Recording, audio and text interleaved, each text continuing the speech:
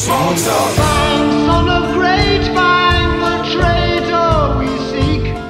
The movie will start from Trespass, and the previous events will be told in expository dialogue when the band members talk with Anthony Phillips before he leaves. But before that, they show a bit of the process they were going, with John Silver leaving and how that impacted the morale of the band before Ant left. Also, Jackson tapes. Phil Collins will enter the band with a funny scene of him watching everyone play drums while he's taking a shit. Sorry, sorry, I misread. While he's taking a swim. After that comes the brief period of them being in a four piece. It will be another fun montage of them failing, but contrasted with the construction of light. Sorry, with the construction of the musical box. A bit that appeared earlier in the movie with Ant playing.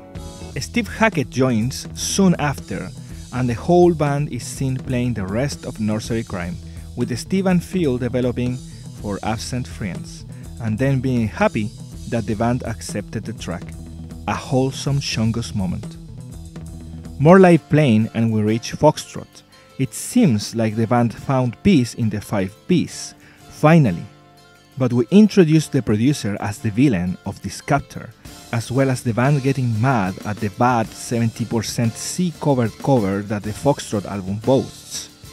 And then Peter coming out gay! I mean, coming out to get you. I mean, in drag on a sweaty, smelly London fight club, with a fox head at the end of the musical box, as you would, and then Melody Maker, you know the deal.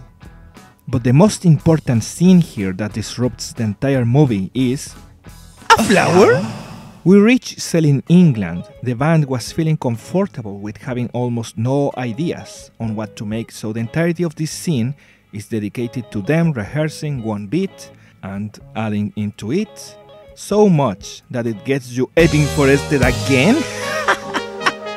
yes, that's how they made it. After that, the band sails England to America.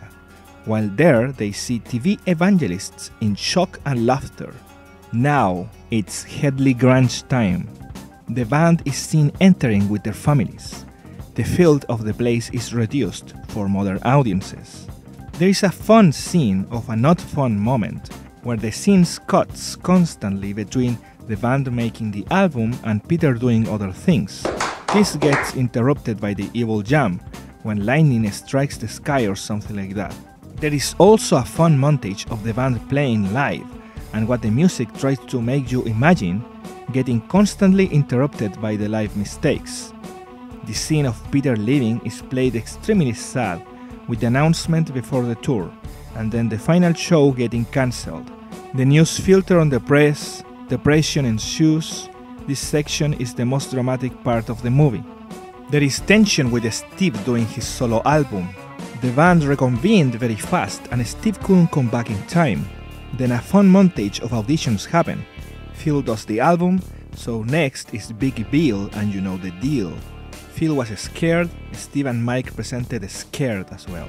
It seems like the band was going to rest, but no, tensions increased during Wind and Wuthering. With each session, we concentrate in Steve getting frustrated, but the scenes get calmer with song production, particularly one for The Vine, and then we reach discussions about the EP, then the live album, and finally Steve Living. And then there were three focuses on them just carrying out Follow You, Follow Me becoming a hit, and on Phil's first divorce. This sad moment is interrupted by a funny scene of Roland gifting drum machines to the band. Mike enters the room happy, shows the box to Tony and Phil. Both just reject the gift.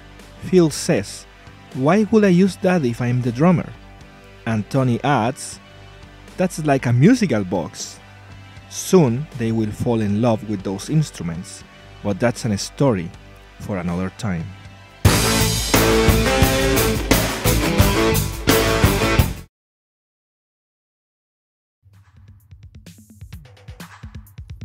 Well, this time Genesis is still on their Mama tour